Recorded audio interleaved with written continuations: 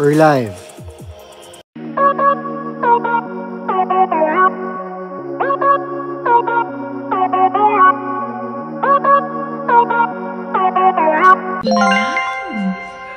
So, good morning. Ah, kakaligo lang. Kakatapos lang din ng ano na yung pinanood ko nga yung INC. Ah, yung ano ng INC channel. Parang TV, patrol nila. Ngayon pinapanood ko rally kahapon. Okay. So, eto nga. Kung alam ko lang na sa dulo nila ipe-play yung sasabihin yung endorsement nila, di sana, finoward ko nila hanggang dulo. So, ito po yung ano ko. ah, hindi, first, hindi ko po kayang, hindi ko ma-disclose. Kaya ko pero hindi ko ma-disclose ng buong buo yung alam ko. Kasi, at this moment, 3 days na lang, 4 days na lang, hindi na po kailangan ng negative publicity ni Ma'am Len na maaring pulutan ng kalaban natin at yun ang ibato-bato sa atin. Makakagulo lang. So, i-disclose ko yung buong info after ng ano, uh, election na. Pagka okay na. Pag naluklok na natin si Ma'am Lenny. Pero, may sasabihin ako syempre. Kakaya naman sa inyo. Dahil lahat kayo naghihintay. At masama din naman din ang loob natin lahat. Well, eto, yung tao na kumausap dun sa pamunuan ng INC, I'm sure, in due respect to him, hindi ko din pwede pangalanan. Eh, ano lang, at saka na lang po, maglalabas din ng ano yun, ng punto. Alam ko, kung ako nasaktan, tayo nasaktan, hindi man ganun kasakit, no? Parang ka lang nasugatan ng konti. Eh, hindi ganun kasakit. Uh, sa, kasi, eh, prepared tayo dyan, eh. Una pa lang, prepare na natin yung utak natin dyan sa ano. Sabi nga natin, kung i-endorse ang INC, ano lang yon pang landslide lang. Kaya doon pumasok yung silbi na i-ano natin yung ano, i-secure natin yung vote with or without INC. So, ito na nga yung nangyari. Nag-endorse na sila. I'm sure yung tao na pinangakuan ng pamuno ng INC na magleleni sila November pa lang, nasaktan yun. I'm sure. Kasi itong taong to, malaking tao din to eh. Malaking tao to at pinakinabangan ng INC to. Pinakinabangan na pinagtanggol sila na itong taong to. Ayan, medyo lumalabas na. Maglalaba, hindi ko pwede pangunahan yung tao mismo. I'm sure, kilala kasi itong taong to. I'm sure maglalabas to ng hinain at sama ng loob. Kasi parang after all ng ginawa niya para sa INC at pinangakuan siya na magleleni daw, plan, November pa planchado na daw. Biglang, ito na nga, yung 20%. Hindi natin alam kung anong anong pinangako ni BBM para lang makuha niya tong boto ng INC. Kasi malaki ang reason nila para hindi tanggapin ang endorsement ni BBM dahil alam mo natin maka-China ang BBM. Unless nga, nakita niya yung pinakahinain ng INC at yun ang kinagat niya. At yun ang pinangako niya. So, medyo malalim na yung ano, yung nadidisclose ko, hingi din muna ang permiso sa mga taong involved kasi malalaki tong mga tao to at isa pa hindi ako pwede basta-basta mag-disclose. Lalo pa ngayon na 4 days na lang, makakagulo lang ng pag-iisip ng mga tao to.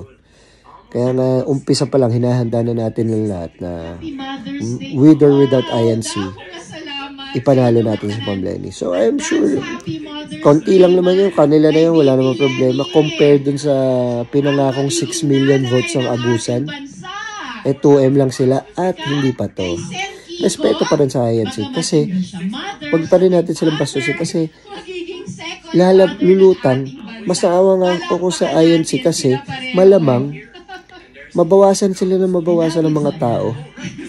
Kasi yung mga totoong totoong tumindig yung mga totoong tao na tumindig maaring tumiwalag na sa kapatiran. Ang dami nagpo-post sa INC member na hindi sila papakontrol kahit itong ano yun, Lenny pa rin sila simula ano titindig sila sa katotohanan.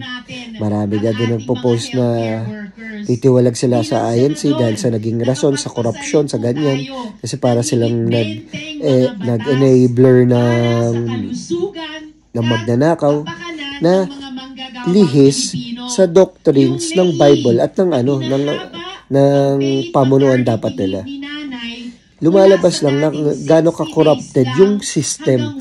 Hindi yung mga tao, ha? hindi itong malilita taong nanin, namamanta, namama, malampa, ma, nalamantaya. Tagal, ano, ma, na, mantaya. Sino mga kasolo ko dito? Oh, mama- mga anak ng kasolo. na mamalantaya Sa kanila. Basta hindi 1,000 itong mga tao, hindi yung mga followers. Nakita dito na expose lang din kung gaano ka-rotten, gaano kabulok ng yung system sa taas. So, naawa pa ako sa INC nga kasi surely, damage to sa kanila. Dahil maraming aalis sa kanila. Diba? o Pinakita nila na gaano sila ka-corrupted at yung aim nila. nagbabawas sa mga emergency room, So, yung yung followers, napag-isip lalo. So, minus sa kanila yon Sabi nga, di ba, kahapon sa usapan natin sa 5 of the 30, Siyempre, para sa ating mga hindi game changer ang INC, hindi. Hindi din kingmaker ang INC. Pero kung sino mga ang endorso nila, it's it just represents their value. Uh, their, their, their, their values. Kung ano ang pananaw nila, paano sila, kung ano ang pananaw, kung paano ang pa, ah, pinaka-values. Ano ba sa Tagalog? Alam niyo naman, pasensya na. So, yun lang yung kaya ko i-disclose daw kasi ayokong gumawa ng commotion, ayokong gumawa tayo ng issue, mawawala na naman yung ano natin sa sa ano ni Ma'am Lenny. Mamaya ang pag-usapan natin sa 4 of the 20, daanan natin to. Tignan ko kung may lalabas ko yung ah, 4 of the 30. Tignan ko kung malabas. Pero I don't think so na kailangan pa natin ilabas yung pangalan ng tao at yung connection niya kay Ma'am Lenny. Kasi hindi natin kailangan ng negative publicity ngayon dahil 4 days na lang po. So, yun lang. Tsaka natin pag-usapan after ng election. So, diretso tayo guys. Ah, wag nating ano yan. Matagal na tayong handa dyan. Matagal na, matagal na nating ano yan, pinaghandaan. Kaya hindi na po natin kailangan mag, ma- magulat, mabigla o manghinayang. Hindi naman ganun kalaki. Buti kung buong, mas malaki ang, kat, ang Muslim kumpara natin sa Catholic. Ayoko nang mag ano. Basta God bless them at doon sa mga doon sa mga INC na nagstay, doon sa mga INC pa rin na maninindigan, ah, ah, taas, ano, saludo po sa inyo. Ah, diretso lang, 4 days, mas maging masigasig. Mamaya gawin natin yung 4 of the 30. Magre-review lang ako ng mga topic natin. Tapos pakainin ko lang po yung si Zio. So, that's it. Good morning. Happy Pink, Pink Wednesday. Mamaya, kita tayo mamaya guys, ha? Pasensya na, may akong tawad. Pero hindi po natin kailangan ng additional problem o makakakos ng pag-disorient ng attention natin.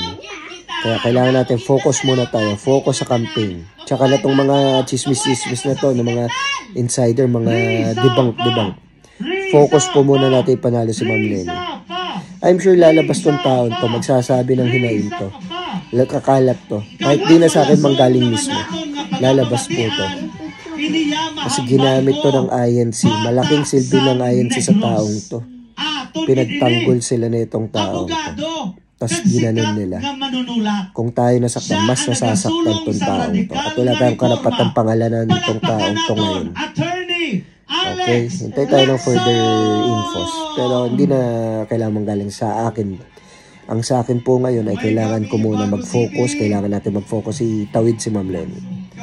So, God bless guys. Good morning guys. Pause ng tingog ko. Maging masigasig.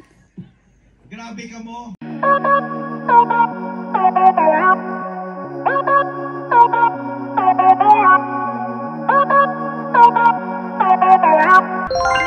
Please like and subscribe.